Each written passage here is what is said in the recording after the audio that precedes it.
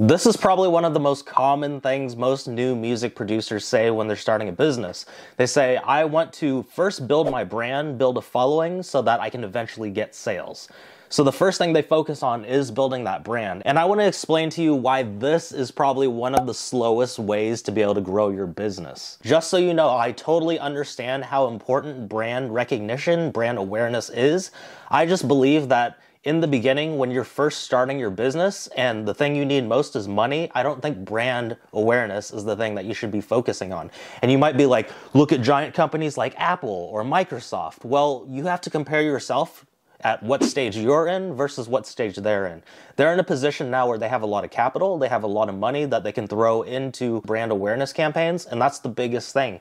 Is brand awareness costs a lot of money. Because this is what brand awareness is. You're paying just so that people understand that you exist as a company. That is it.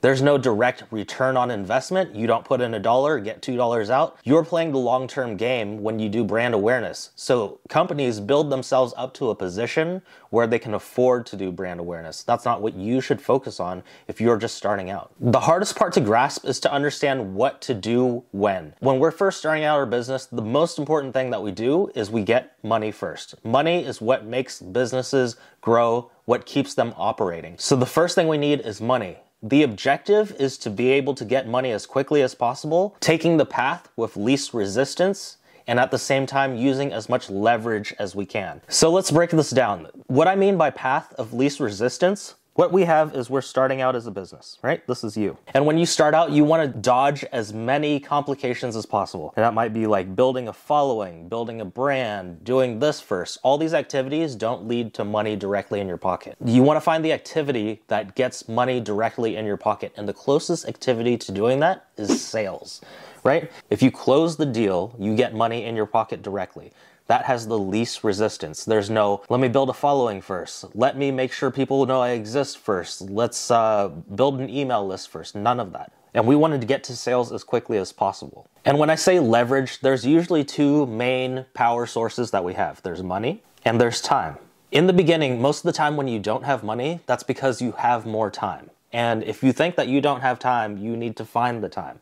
Because when you're starting out and you're starting the business, you have to put in that time first. So, what we're gonna do is we're gonna leverage our time that we have now so that eventually we can switch over and leverage our money. Because with our time, the time has a cap. Our time has a cap. I have 24 hours, you have 24 hours. My dog has 24 hours. I mean, I don't know how it works in dog years, but we all share the same amount of time. Elon Musk has 24 hours. Steve Jobs had 24 hours. And so time has a massive cap on it. So we can only do so much. But in the beginning, we don't have enough money to leverage. Therefore, we have to utilize our time. Most of the time, we have to individually go out and do the things manually. Manually message people, manually call people, manually knock door to door. If we're trying to build brand awareness with just DMing people, that's going to be not the best use of your time. They say on average, it takes about seven touch points seven times for your business to pop in front of someone before they buy something from you. So we can't just be sitting there messaging everybody seven times. So what do we do? We make more direct offers. If you have a solution to someone's problem, this is how you sell things. It's not a matter of how many credits you have. It doesn't matter how many major placements you have. All those are good leverage, but we're not talking about leverage. We're talking about solutions. And this is the reason why your clients pay you. They don't pay you because of your credits. They don't pay you because of what you've done in the past. They pay you if you have a solution to their problem. So, what we got to do is find out how we can describe this solution and offer this solution to their problem in a way where they're going to want to buy from you. Okay? And I'm going to go I'm going to have more videos that go in way more depth in this, but from a 30,000 foot view, this is what it is. We're trying to get people to pay us. So, what can you do? You can go out and since we have time to leverage, we can go out and we can manually message people right? We can send them DMs and we can start making more offers. This is the activity you should be focusing on the most when you're growing your business. I know there's a million things we can focus on make more beats, create our BeatStars page, make our website look prettier, build our brand. There's a million things, but there's only one true activity that you should be focusing on when you're starting your music business. Because once you get this money from the DMs that you sell, let's say you sell a few beats, right?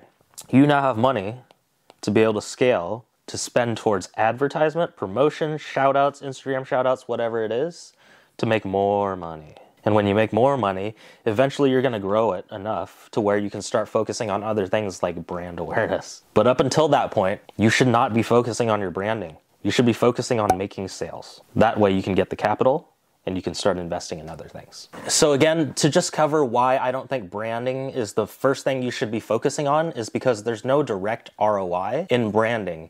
What you're paying for is for someone to understand that you even exist. And when you're starting out as a new business, you don't have enough money to continuously pay for promotions to have people understand that you exist. That's just not the quickest way to success. Cash is king in this aspect, and we have to get to cash as quickly as possible. Path with least resistance means that sales is the first activity you should do because it's the closest to money. And then secondly, leverage what you have most of. If you have more time now, you should be manually sending out DMs or reaching out to people. If you have more money, you would leverage the money. And the switch you want to make is switch from leveraging your time to leveraging money, but you cannot do that until you put in enough work with your time to get enough money so that you can leverage the money. The point of paying for branding is to be top of mind for people. When they're ready to buy a phone, what do they think of? Oh, I've been seeing a lot of Apple commercials. When they need a computer, oh, I've been seeing a lot of Microsoft commercials. That's going to be the first thing that comes up when they need it. But you don't have that time to be waiting around until somebody needs what you have, so you need to make more direct offers. So sales is going to be the biggest thing that's going to grow your business fast in the beginning. So focus primarily on sales. I hope this was helpful to clear any misconceptions you may have about what you should focus on first when growing your business. And if you liked this content and you want to learn more about how to grow your music business, subscribe down below, share this with a friend, and I will see you in the next video.